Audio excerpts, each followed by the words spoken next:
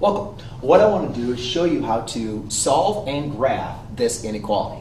So the first thing we need to do is we need to understand the absolute value uh, when dealing with an inequality. And when you have absolute value, we need to remember there's two solutions to it.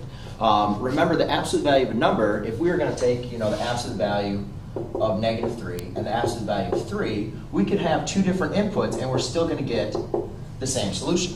So without going into too much into this, um, when we have an absolute value of an inequality, we need to set up our two solutions to therefore then we can get rid of the absolute value sign.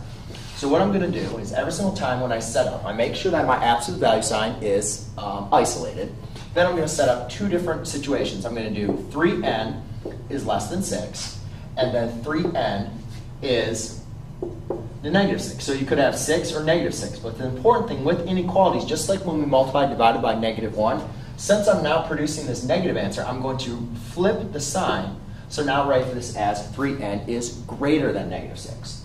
Now, to solve and graph the inequality, I simply solve for my variable, divide by 3 on both sides. I get n is less than 2, divide by 3, and say n is greater than negative 2. So now, to graph this, I'm going to create a number line.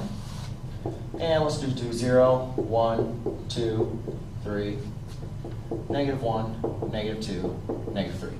Now, since I'm dealing with the, just a less than and a greater than symbol, I know that I'm going to be using a open circle. So n is less than 2, so I'm going to go over to 2, and then n is greater than negative 2, which will be another open circle. Now, what we're going to do is what we have is a compound inequality. We're going to be graphing both of these on the same axis. So you could say that n is greater than 2, that's going to be all numbers that are greater than 2, which would be pointing in that direction. And then n is less than 2 is going to be all values going in this direction.